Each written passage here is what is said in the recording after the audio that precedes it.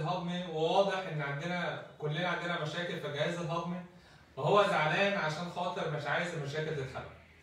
خلينا نقول الجهاز الهضمي والقولون والاستيوباثي والطب التقويمي وهل فعلا أي حد فينا ممكن يخف من مشاكل الجهاز الهضمي ولا لأ؟ وهل مريض السكر لازم يستمر على أدوية السكر؟ وهل لو حد عنده ارتجاع أو حموضة دايما هل ممكن يخف منها ولا هي مجرد أدوية بياخدها طول عمره وبيفضل مريض بالمعدة ومشاكل الارتجاع والحموضة؟ هل مشكلة القولون تتوقف فقط على مشاكل الإمساك والإسهال؟ لو أنا ما عنديش إمساك أو أنا ما عنديش إسهال يبقى أنا كده امساكي وقولوني زي الفل ولا لأ؟ وإيه علاقة الجهاز الهضمي الهضمي بالمناعة؟ وهل صحة الجهاز الهضمي في الفترة اللي إحنا فيها دي وفتره الكورونا ربنا يحفظنا كلنا. مهمة ولا ملهاش علاقة بتأثيرها على المناعة؟ وهل القولون والجهاز الهضمي ليه علاقة بالعمود الفقري اللي ده موضوعنا الأساسي النهارده ولا الجهاز الهضمي حاجة والعمود الفقري بتاعنا حاجة والجهاز العصبي حاجة تانية؟ كل ده هنتناوله النهارده مع بعض وبرضه لو في أسئلة معاكم أو في أي نقاش بنرجع نناقشه مع بعض تاني وبتسالونا في الكومنتات وإن شاء الله بنوضحه لحضراتكم في اللايف النهارده. خلينا نقول الجهاز الهضمي بتاعنا هو مش مجرد بس إن أنا باكل أكل وبهضمه وخلاص لكن هو المصنع بتاع جسمنا. يعني عشان خاطر الموتور العربية يشتغل مهما كان الموتور نظيف أو حالته كويسة لازم أحط بنزين علشان خاطر الموتور يشتغل. وهل كل بنزين بحطه ده وخلاص هيشغل الموتور ولا في فرق ما بين بنزين 95 وبين 92 وبين 80 طبعا أكيد في فرق. كل ما اهتميت بجودة الطعام اللي بتدخل المصنع بتاعي أو الجهاز الهضمي بتاعي بيخلي دايما صحتي كويسة الفيتامينات والعناصر الغذائية اللي جسمي بيحتاجها كويسة. إن أنا بتجنب حدوث الأمراض بتكون بصورة أكبر وصورة أوضح. خلينا بس نأكد تاني إن الصوت واضح عشان خاطر ما يبقاش أنا بتكلم والصوت مش موجود. شكرا يا علياء. تمام. خلينا نقول إيه هي مكونات الجهاز الهضمي الأساسية. هنقول إن مكونات الجهاز الهضمي الأساسية الفم والمريء والمعدة والأمعاء الدقيقة أو الإنتستين والأمعاء الغليظة أو القولون بعد كده المستقيم وفتحة الشرج خلينا نبتدي معلومة جديدة ومهمة وأعتقد كمان لو في دكاترة معانا متابعانا هم ممكن ما يكونش عارفين المعلومة دي.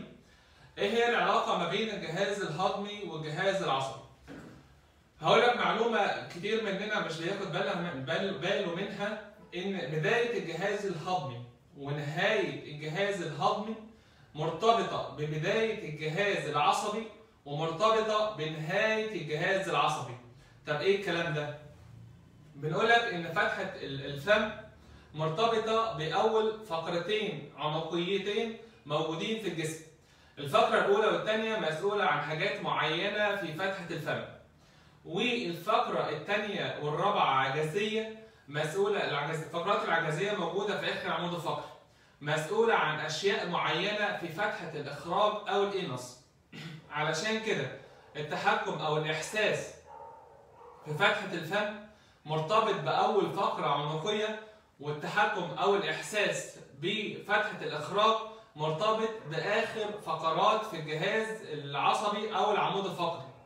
ومن هنا في علاقة كبيرة جدا ما بين بداية ونهاية وما بين جهاز عصبي وجهاز هضمي. هل بس دي العلاقة ما بين الجهاز الهضمي والجهاز العصبي؟ بنقول لك لا في علاقات تانية هنوضحها خلال اللايف النهارده بس المعلومة اللي إحنا قلناها دي كتير من الدكاترة أصلا مش بياخد باله من مش بياخد باله من المعلومة دي. خلينا نقول إن بداية الجهاز الهضمي أو سلامته أو صحة الهضم بتبتدي من الفم بتاعنا. الرسول صلى الله عليه وسلم في حديث فيما معناه إن وصانا بالكلام أثناء الأكل.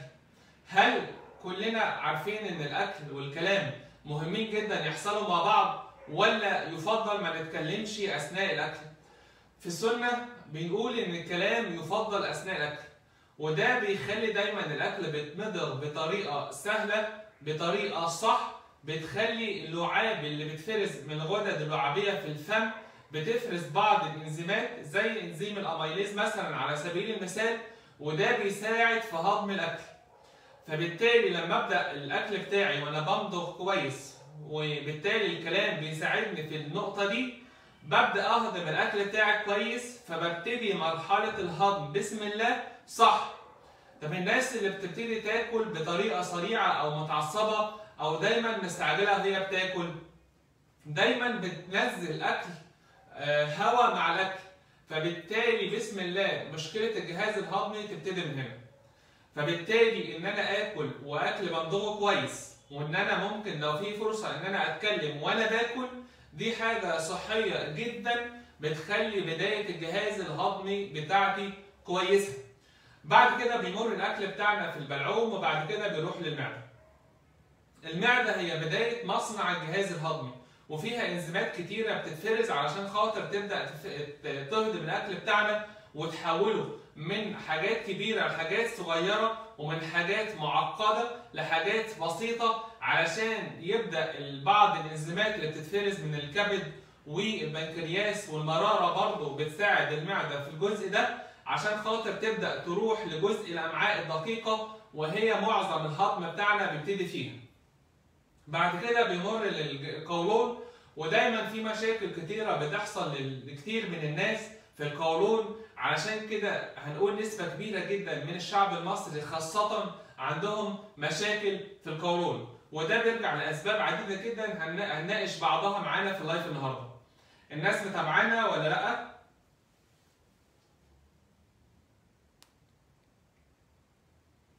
تمام ربنا يبارك فيك يا رب يا أحمد محمود وربنا يبارك فيك يا مدام حنان خلينا نقول إيه هي أصلا ال- العلاقة ما بين الجهاز الهضمي والجهاز العصبي في حاجتين مهمين ال nervous system أو الجهاز العصبي بتاعنا بيتحكم في حاجتين دايما آه، حاجة بتعمل contraction أو بتشغل عضلات الجهاز الهضمي وبتخلي العصارة اللي بتتفرز في كل أعضاء الجهاز الهضمي شغالة كويس وجزء من الجهاز العصبي اللي هو ال parasympathetic system مسؤول عن فكرة الهضم أو مسؤول عن إن الإفرازات اللي بتتفرز برضه في الجهاز العصبي اللي بتتحكم في الجهاز الهضمي بتكون بصورة أقل. طب عشان نوضح أكتر الجهاز الهضمي دايما بتاعنا بينقسم قسمين أساسيين بيتحكموا في كل جسمنا. حاجة اسمها parasympathetic system و sympathetic system. الجهاز السمبثاوي والباراسمبثاوي. وده من خلاله بنتحكم في عملية التوازن بتاع الهضم بتاعنا. طب إيه علاقة القولون بالفقرة الأولى عنقية؟ الفقرة الأولى عنقية C 0 وال C 0 وال C 1 أول فقرتين في الرقبة وبعض الأعصاب اللي بتطلع من المخ ال cranial nerves بتتحكم في حاجتين أساسيين. بتتحكم في ال rest وال digestion بتاعنا. يعني إيه الكلام ده؟ بتتحكم في عملية الهضم بتاعنا وبتتحكم في ال relaxation أو ال rest اللي بيحصل في جسمنا عشان كده حاجة زي العصب الحائر أو ال vagus nerve ده من ضمن الأعصاب اللي بتخرج من الجزء ده وبالتالي بتتحكم في تلتين في المية من عملية الهضم بتاعنا. عشان كده لو حد عنده مشكلة في رقبته أو أول فقرة دايما بتأثر على العصب ده وبالتالي بتخلي عملية الهضم بتاعنا مش أحسن حاجة والجزء الثاني من جهاز البارس المساوي موجود في آخر فقرتين في العمود الفقري في الفقرة الثانية والرابعة عجازية ودول عند مفصل الحوض من ورا ودول بيكملوا شغل الفقرة الأولى والثانية عنقية عشان خاطر يحسن من عملية الجهاز الهضمي. طيب هل بس ليهم علاقة بالمنطقتين دول ولا في علاقة تانية؟ العلاقة التانية اللي هي السمباثيك سيستم اللي موجود في الفقرة الستة والتاسعة صدرية وده اللي بتوازن ما بين عملية الهضم. طب إيه الكلام ده عشان إحنا مش فاهمين حاجة؟ دايما عشان خاطر أي حاجة في جسمنا تشتغل لازم يكون في حاجة بتشغل حاجة بتشغل الحاجة دي وحاجة تانية بتهدي الحاجة دي يعني على سبيل المثال ضربات قلبنا مثلا لما نيجي نجري أو مثلا بيكون في حاجة بتجري ورانا أو كلب دايما بتلاقي ضربات قلبك بقت سريعة. طب هل ده بيحصل لوحدها كده؟ ولا بيكون في حاجة في جسمنا هي صحيح لا إرادي لكن حاجة بتتحكم فيها؟ أول ما الشخص فينا بيحصل له موقف بيخوفه أو بيحتاج إن هو يجري أو يعمل مجهود بتلاقي دايما ضربات قلبه سريعة. طب وبعد ما الموقف بيخلص بتلاقي ضربات قلبه بترجع تاني؟ ترجع للمعدل الطبيعي بتاعها. وبرضه أثناء النوم بتلاقي معدل ضربات القلب بطيئة. لما بيصحى وبيبدأ نشغل حركاتنا العادية بتبدأ ترجع للمعدل الطبيعي بتاعها. طب هل ده بيحصل لوحده ولا الجهاز العصبي مسؤول عن الحاجات دي؟ بنقول لك إن الجهاز العصبي مسؤول عن الحاجات دي. عشان كده على سبيل المثال المعدة فيها فتحات بتقفل وبتفتح. زي ما شفنا الفيديو في اللايف الأولاني الصوت ما كانش فيه واضح إن فتحات المعدة بتتحكم فيها عن طريق الجهاز العصبي الجهاز العصبي بتخلي فتحة من فتحات المعدة أو قولون أو حركة الأمعاء تكون مفتوحة وحركة العضلات شغالة والجهاز العصبي من مكان تاني بيخلي فتحة المعدة تتقفل وحركة عضلات الجهاز الهضمي بتاعنا تكون بطيئة. طب الكلام ده إيه علاقته بمشاكل العمود الفقري طيب؟ يعني إحنا عمالين نتكلم فتح وقفل وهضم. هل دي لها علاقة بالآلام العمود الفقري ومشاكل الفقرات؟ بقول لك أيوه. في حاجة اسمها somatovisceral reflex وده حاجة معروفة في الطب وعليه دراسات وأبحاث إن العلاقة ما بين الأعصاب اللي بتخرج من الفقرات واللي بتوصل لجهاز العظم الهضمي بتاعنا باختلاف بيوصل لفين سواء معدة سواء قولون سواء أمعاء لما الإشارات بتكون خارجة من الأعصاب من العمود الفقري بصورة أقل من اللي المفروض تخرج فيها فبالتالي التحكم في قفل وفتح أو حركة عضلات الجهاز الهضمي بتكون أقل. فبالتالي الجهاز الهضمي بتاعنا ما بيشتغلش كويس. طب نوضح أكتر ولو الناس برضو مش فاهمة معانا ممكن تقول لنا تسألنا وإحنا إن شاء الله نوضح أكتر. يعني لو النجفة بتاعتنا أو أي حاجة مصدر إضاءة لينا مش شغال كويس دايما بنشوف السلك اللي بيوصل للنجفة دي. هل هو ملمس كويس وواصل النجفة كويس وكل السلك واصل ولا في جزء منه مش واصل كويس فبالتالي الإضاءة بتاع النجفة دي مش شغالة كويس؟ وده اللي بيعمله الأعصاب.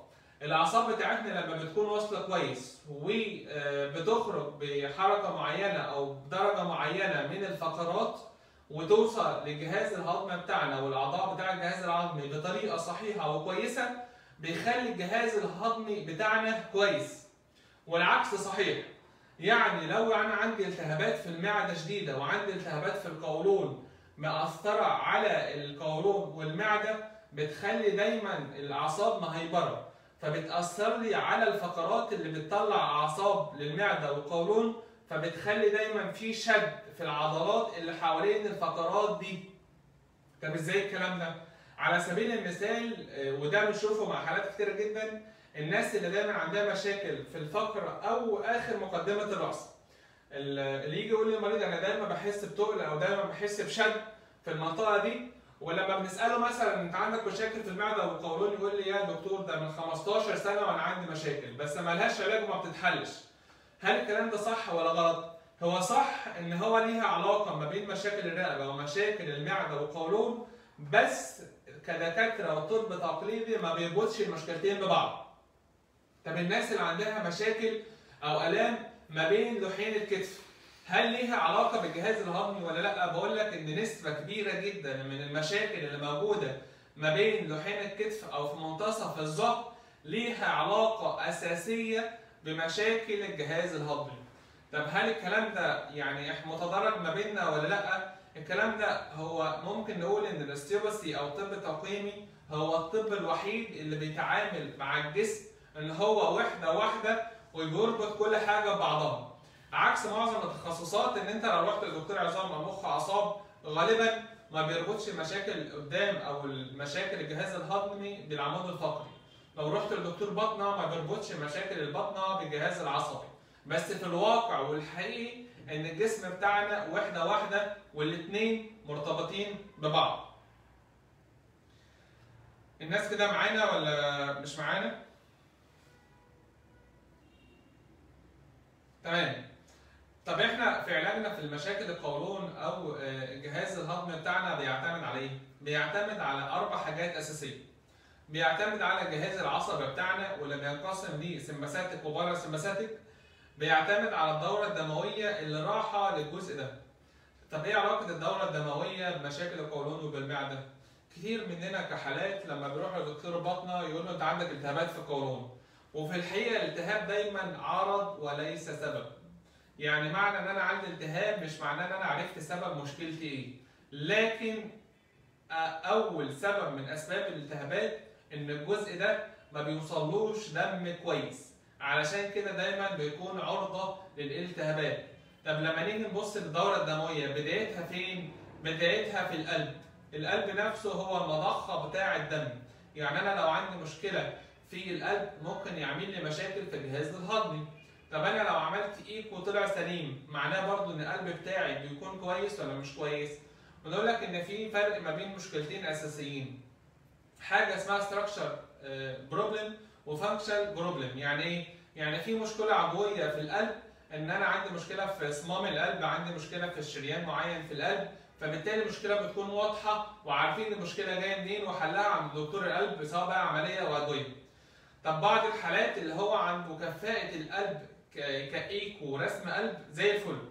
لكن ساعات بيحس بنبضات قلب سريعة ساعات بيحس إن نفسه قصير هل ده معناه إن كفاءة القلب الوظيفية متأثرة؟ بنقول لك أيوه لأن دايما في كتير من الناس بيكون وضع العمود الفقري بتاعه بيكون مثلا على سبيل المثال في الوضع ده. وده بيأثر معاه على شكل القفص الصدري وبالتالي بيخلي وظيفة القلب والرئة ما بتكونش أحسن حاجة. فبالتالي بيخلي كمية النفس اللي المفروض ياخدها والأكسجين اللي بدخله في جسمه بتكون قليلة. بتخلي كمية الدم اللي بتخرج من القلب بتكون قليلة. فبالتالي بيوصل الدم للمعدة والقولون والأمعاء بصورة أقل. فبالتالي ما بيقدرش يقوم بالوظيفة بتاعته. فبالتالي بيحصل له التهابات وبيحصل له مشاكل. فلما نيجي نعالج المشكلة دي لازم نعالج مشكلة القفص الصدري فوق ومشكلة الدورة الدموية اللي ما بتوصلش كويس عشان خاطر يوصل دم كويس للجهاز الهضمي. فبالتالي يقدر يقوم بشغله. طب مش فاهمين؟ نوضح تاني. لو أنا كشخص سليم بس أنا مش واكل كويس، هل هيكون تركيزي في شغلي والمجهود اللي أنا بأديه في شغلي هيكون صح أو هيكون زي ما أنا عايز ولا هيكون قليل؟ هيكون قليل. هل معناه إن أنا مجهودي قليل إن أنا شخص مريض؟ لا.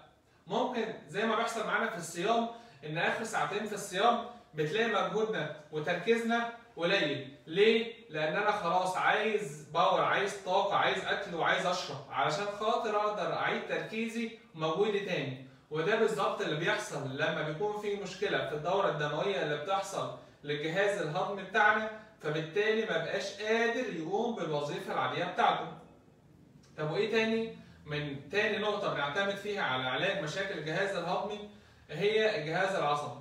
لو عندك مشكلة في رقبتك أو على سبيل المثال الناس اللي مثلا بتقع على المقعدة بتاعتها وده بنشوفه في حالات كتير إن حالة مثلا بتكون في البيت وقعت على المقعدة بتاعتها وبعد فترة بدأ يجي لها مشاكل في الحوض وبعد فترة بدأ يجي لها مشاكل في القولون. هل ده ليه علاقة بالوقعة اللي وقعتها على المقعدة من سنتين ثلاثة ولا لأ؟ بنقول لك أيوه لأن إحنا قلنا في أول الفيديو إن جهاز الباراسمباثيك أو جهاز الباراسمبثاوي موجود في جزء منه في آخر فقرتين في العمود الفقري. ولما بيحصل وضع إن أنا بقع على المقعده بتاعتي بيعمل لي ضغط على الفقرات دي وبيأثر لي على الأعصاب اللي بتخرج من الجزء ده ومسؤولة عن الجهاز الهضمي في آخر تلت منه. عشان كده لو حصل لي مشكلة في الحوض هتأثر لي على وظيفة آخر تلت من الجهاز الهضمي بتاعي.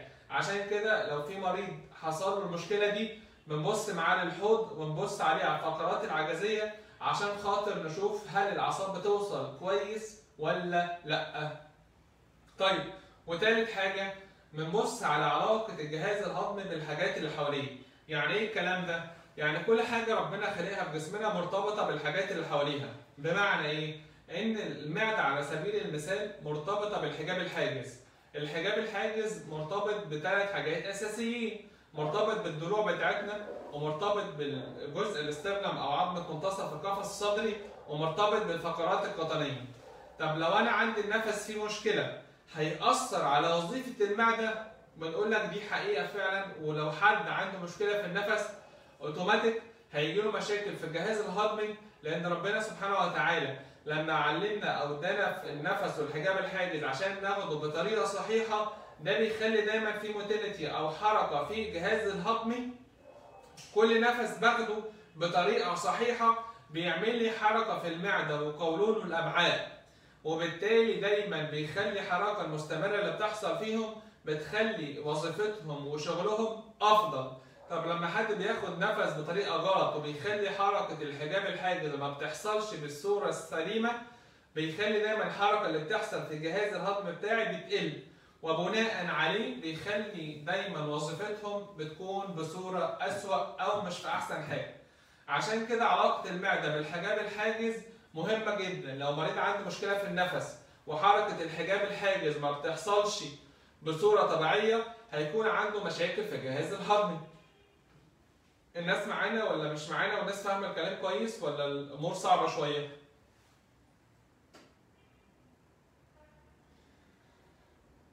تمام يا أستاذ أحمد يوسف ربنا يبارك فيك يا رب ويكرمك ودايما كده تكون في أفضل صحة وفي أفضل حال. طبعا كتير من الدكاترة أصلا آه يعني ما, ما عندوش مشكلة في الحجاب الحاجز. يعني أنا يعني مش متخيل أو ما سمعتش مرة من المريض إن هو راح لدكتور باطنه وقال له إن مشكلتك في الحجاب الحاجز علشان كده آه معدتك فيها مشكلة. طب خلينا نوضح أكتر. فم المعدة موجود على حرف الحجاب الحاجز. يعني فم المعدة هو بدايته في الحجاب الحاجز. فم المعدة مش صمام بيتقفل وبيتفتح. هو مجرد إن المعدة بتاعتي لفة على بعضها أو ال ال ال الجزء المعدة ده بيلف على بعضه فبالتالي هو بيقفل. القفلة دي موجودة على حرف الحجاب الحاجز. لما الحجاب الحاجز بيبقى فيه مشكلة سواء ممكن يكون في مستوى أعلى أو في مستوى أقل بيخلي الفتحة دي ما بتقفلش كويس. وبالتالي بيخلي دايما حمض المعدة عنده قابلية إن هو دايما يطلع في المريء بتاعك. عشان كده دايما تحس بحرقان في المريء. طب علاقة علاجه إيه؟ هل إنك تاخد علاج للحموضة وإلا إنك ولا إنك تصلح مشكلة الحجاب الحاجز فترجع فتحة فم المعدة في مكانها الطبيعي فبالتالي تقفل طبيعي فتمنع إن حمض المعدة يخرج في المريء بتاعك. وده فكر الاستيوبسي أو الطب التقويمي. عشان كده لو عندك مشكلة في الحجاب الحاجز وعندك مشكلة في فم المعدة وعندك دايما ارتجاع أو حموضة عالج مشكلة الحجاب الحاجز عالج مشكلة النفس بتاعك مشكلة المعدة هتكون أحسن. طب نيجي مشكلة الحوض ومشكلة القولون. القولون بتاعنا بدايته في بتكون في الحوض اليمين وبتنتهي بالحوض الشمال ومرتبط بأوتار معينة وأشياء معينة ما بين الحوض اليمين وما بين الحوض الشمال. لو أنا حد عنده مشكلة في الحوض وعنده يعني روتيشن أو عنده يعني الحوض بتاعه لافف أو مش في وضعه الطبيعي أو دايما بياخد الوضع غلط في القعدة أو عنده مشاكل في الفقرات القطنية هيأثر تأثير سلبي على وضع القولون. وأنا مثلا على سبيل المثال لو النضاره دي النضارة دي مش وضعها طبيعي على سبيل المثال كده مش هشوف بيها كويس على الرغم إن هي كنضارة سليمة لكن وضعها مش سامح لي إن أنا أستخدمها كويس.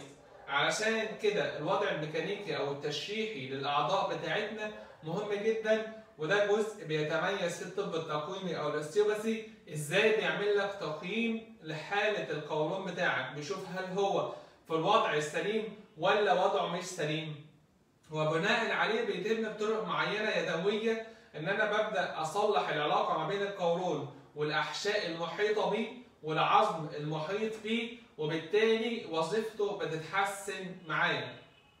طب إيه تاني مشاكل؟ مشاكل النفسية الصراحة مشاكل مهمة جدا، دايما الناس اللي متوترة وعندها عصبية دايما دايما جهازهم الهضمي مش أحسن حاجة. يعني أنت لو أكلك كويس، الدورة الدموية كويسة، الأعصاب بتاعتك كويسة، لكن دايما متوتر وعصبي مفيش حل ليك غير إنك تحاول تعود نفسك على الهدوء وإنك تتعامل بمشاكلك بهدوء عشان خاطر عمر المشاكل ما بتتحل بالعصبية أو التوتر المستمر عشان كده التوتر أو الاسترس ده مرض مش ظاهرة أو حاجة موجودة معاك وخلاص. عشان كده إيه لو أنت متوتر دايما وعندك عصبية ما تفكرش إنك ممكن بحباية تصلح قولونك أو مشاكلك لأن القولون لازم تكون في حالة نفسية مستقرة علشان خاطر يشتغل كويس لأنه ده من ضمن الحاجات الأساسية اللي بتأثر معانا على وظيفة الجهاز الهضمي. عشان كده دايما في ناس كتيرة متشخصة بان هي عندها قولون عصبي. قولون عصبي ملوش علاج. ليه علاج؟ إن أنا أظبط الثلاث حاجات الأساسيين. إن أنا أظبط الأكل بتاعي. إن أنا أظبط الأعصاب اللي بتتحكم في القولون. إن أنا أظبط الدورة الدموية اللي بتوصل للقولون. إنك تغير طريقة تعاملك مع نفسك ومع جسمك لأن ده حاجة مهمة. كان مرة في مريض جاي فهو يعني عنده مشكلة معينة في ظهره. فمن ضمن ال history بتاعه إن هو لف كتير على دكاترة بطنة وكان عنده مشكلة في القولون وسافر بره مصر عشان في الآخر يكتشف إن هو عنده Crohn's. ال Crohn's ناس كتيرة جدا بتشتكي منه و آه، دكاترة كتير بتقول إن هو ملوش علاج. هو في الحقيقة هو auto disease أو مرض مناعي. ولو جينا بصينا للمناعة 70% من المناعة موجود في الجهاز الهضمي عشان خاطر أبدأ أعالج مناعتي لازم أعالج الجهاز الهضمي وأشوف أكلي بيدخل صح ولا غلط؟ باكل أكل صحي ولا لأ؟ مش معنى إن حضرتك أو حضرتك بتاكل في البيت إن كده أكلك كويس وأكلك صحي. لكن مريض القولون أو مريض الجهاز الهضمي حاجة على سبيل المثال زي اللبن حاجة مضرة جدا للمعدة. الابحاث الحديثة كلها بتقول إن اللبن حاجة مضرة لمشاكل المعدة. عشان كده أي حد عنده مشاكل في المعدة ممنوع يشرب لبن. لأن هو بيزود مشاكل المعدة وبيزود مشاكل القولون. فالمهم المريض جه فبيقول إن هو بدأ خلاص اكتشف بره مصر إن هو عنده Crohn's وإن هو بيتعالج منه بياخد علاج بيولوجي ليه والعلاج مكلف جدا. طبعا المريض جاي أصلا هو بيشتكي من مشاكل في الرقبة والظهر. طب آه، بسأله سؤال طب أنت حضرتك أكلك أخباره إيه؟ طب مشاكل العمود الفقري بتاعتك أخبارها إيه؟ قال لي دي حاجة يا دكتور ودي حاجة تانية. طبعا هو مريض بيكتفي بس إن هو بياخد أدوية غالية إن هو بيتعالج بره مصر إن هو بياخد علاج بيولوجي لل Crohn's وبس ده علاجه. في الحقيقة ده تصرف خاطئ جدا جدا منه ومن الدكاترة لأن إن أنا أبدأ أصلح جزء عندي من الجهاز الهضمي زي القولون وإن أنا أعالج مرض زي الكرونز بيبتدي طبعا مع الأدوية مهمة طبعا رؤية الدكتور المخت- المختص ده مريض دكتور الطبيب القولون أو دكتور البطنة لكن قبل ما أبدأ أفكر أعالج القولون لازم أبص على الحاجة اللي بتدخل له لازم أبص على الأعصاب اللي بتتحكم في القولون لازم أبص على الدم اللي بيوصل للقولون. دايما المريض اللي عايز ياخد حباية ويخف عمره ما بيخف. دايما هيلف على الدكاترة وفي الآخر ما بيخفش. دايما ما بيربطش مشاكل ظهره ورقبته بمشاكل الجهاز الهضمي بتاعه. عشان كده كانت نصيحتي ليه إن أنت تبدأ تظبط أكلك عشان خاطر تخف من حاجتين. تخف أو تقلل على الأقل الأعراض اللي بتحصل نتيجة الكرونز ديزيز اللي بتحصل لك في القولون والالتهابات اللي بتنتج فيه وإنك تبدأ الضغط العصبي اللي بتوصله من القولون للجهاز العصبي بتاعك وفقراتك تقل فبالتالي هترتاح في حاجتين. هترتاح في أعراض القولون وترتاح في أعراض العمود الفقري بتاعك بالإضافة إن إحنا هنحل له مشاكل الفقرات والأعصاب والدورة الدموية اللي بتوصل لده. لكن في الحالة دي المريض بيبقى ليه دور مهم جدا من غيره مش بنقدر نساعده ولا أي دكتور يقدر يساعده غير عبارة عن مسكنات بس ياخد العلاج يرتاح يبطل العلاج يتعب تاني الناس معانا ولا نامت؟ ربنا يبارك فيك دكتورة دانيا ونمشي منك يا رب دايما كده ودايما ناجحين مع بعض. طب الناس اللي مش بتمارس رياضة أصلا هل ليها علاقة بمشاكل القولون ولا لأ؟ بنقول لك عشان خاطر نعمل toilet كويس أو حمام كويس لازم يكون عضلات الحوض بتاعتنا كويسة. لأن الحوض نفسه وفتحة الأخراج هي عبارة عن عضلات بيحصل لها انقباض وبالتالي بيكون عندها القدرة إن يخرج الفضلات الفضلات من آخر جزء في القولون وبتخرج من جسمنا. دايما الناس عندها core stability أو عضلات الحوض ضعيفة دايما عندهم مشاكل كبيرة جدا. وده كتير بنشوفه إن الناس كتير بتهتم بالتخسيس وإن أنا أنزل وزني لكن ما بيهتمش بإن أنا أقوي عضلات الحوض لأن التخسيس أو نزول الشكل مش أهم من إن أنا يكون عضلات الحوض بتاعتي قوية عشان تحافظ على ثبات أو استابيليتي بتاع الحوض بتاعنا وتخلي عندي مقدرة إن أنا يبقى عندي قوة عضلية معينة عشان خاطر أقدر أخرج الفضلات من جسمي. وفي الحاله ده جزء مهم جدا. كتير من الحالات بنشوفهم عشان يعمل toilet كويس بيضغط على بطنه من تحت وبيعمل انحناء لقدام عشان يقدر يخرج الفضلات من عنده. وده جزء أساسي من الجهاز العضلي اللي مرتبط بقوه التحكم وال control عشان خاطر يقدر يخرج الفضلات من منطقة المستقيم لفتحة الإخراج ويتخلص منها. عشان كده لما تيجي تتعامل مع مشكلتك صح لازم تحل سبب المشكلة. يعني لو حضرتك عندك ضعف في عضلات الحوض أو حضرتك عملت مثلا مرتين ثلاثة ولادة قيصري ده أكيد عندك مشاكل في عضلات الحوض وأكيد هيعمل لك عدم توازن في الحوض وأكيد هيعمل لك مشاكل في الرحم والمثانه والعمود الفقري وألام أسفل الظهر. فبالتالي عشان خاطر تحل مشاكلك لازم تعمل توازن ما بين العضلات الأمامية والخلفية للحوض عشان تقدر تشغل القولون بطريقة سليمة وصحيحة وبناء عليه تخف ما تخليكش طول عمرك دايما مريض. وبناء عليه مناعتك تتحسن وبناء عليه جهازك الهضمي هي كويس وبناء عليه مش هيجي لك كرامبس أو شد عضلي يصحيك من النوم بالليل. يعني كتير من الناس بيجي لها شد عضلي بتيجي تشتكي منه وفي الآخر تقول لي عايزين بسط عضلات أو بتاخد بسط عضلات وما بتخفش وبتصحى في عز النوم من شد عضل هل ده ممكن لو إحنا ظبطنا الجهاز العظمي بتاعنا وجهاز القلب بتاعنا والدورة الدموية هخف منه من غير علاج؟ بنقول لك أيوه هتخف منه من غير علاج. عشان كده دايما بنقول لك غذائك دوائك يعني أكلك مهم جدا الجهاز الهضمي بتاعك مهم جدا المعدة بيت الداء. المعدة بدايتها من ثلاث حاجات أساسيين الأكل بتاعنا الأعصاب اللي بتوصل ليها الدورة الدموية اللي بتتحكم فيها دول حاجات أساسية عشان خاطر معدتي امعائي قولوني يشتغل كويس.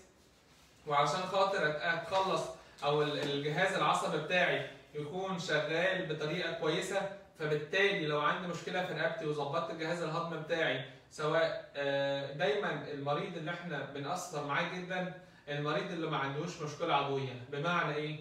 المريض اللي هو ما عندوش مثلا فتق في حجاب الحاجز المريض اللي هو ما عندوش قرحه في المعدة المريض اللي ما عندوش ورم لا قدر الله في القولون المريض اللي دايما مش عارف عنده إيه وعنده أعراض جهاز هضمي عنده ارتجاع عنده حموضة عنده انتفاخات عنده إمساك عنده إسهال عنده مشكلة في النفس من غير ما يكون في مشكلة واقعية أو عضوية معاه ده الأستيوباثي والطب التقويمي في الواقع بيفرق معاه جدا جدا جدا. المريض اللي عنده مشاكل في رقبته ومشاكل في الجهاز الهضمي ولا عارف يتخلص من جهاز المشاكل الجهاز الهضمي ولا عارف يتخلص يتخلص من مشاكل الرقبه ومشاكل الكتف ومشاكل الظهر. الاثنين مرتبطين ببعض الطب التقويمي أو الاستيوباثي بيفرق معاك جدا. بعيدا عن الطب التقويمي والاستيوباثي والطب العادي والأدوية حضرتك أول واحد ممكن تساعد نفسك أو حضرتك ممكن أول حد تساعد نفسه وحضرتك أو حضرتك ممكن أول حد تضر نفسك وما تخليش أي دكتور يقدر يساعدك باي حاجة عن طريق إنك ما تاكل أي أكل بتشرب مية قليل بتشرب بيبس كتير بتعملي رياضة قليل. دايما حياتك كلها قاعدة ونايمة مفيش نشاط رياضي ولا في مشي كل يوم. مية بتاعتك مبدلاها بالبيبسي. بتاكلي حلويات كتير. وأكتر حاجتين مضرين للقولون هو السكر والدقيق الأبيض. الناس اللي الحلويات عندها في رمضان أسلوب حياة إن أنا باكل كويس وبخلص أكل بروح آكل الحلويات بتاعتي وبشرب عصاير كتير جدا في رمضان بنقول لك سعادتك أنت بتضر نفسك جدا وما بتستفدش من الصيام بتاعك وبتدمر المناعة بتاعتك. ودايما هتكون محتاج لمسكنات وأدوية المعدة والقولون. عشان كده بنقول لك إن علاجك مش بيبتدي من عند الدكتور علاجك بيبتدي من نفسك وإنك تدور على صحتك من نفسك عشان خاطر أنت البداية وبعد كده أي دكتور ايا كان تخصصه إيه هيكون هو مساعد لحضرتك وليس الأساس.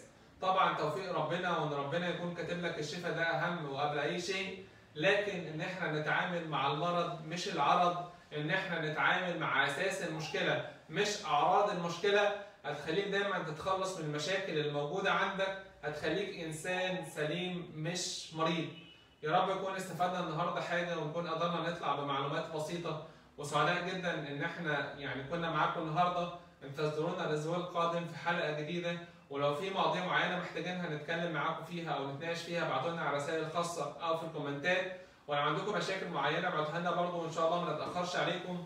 ويا رب دايما في أفضل صحة في أفضل حال. والسلام عليكم ورحمة الله وبركاته.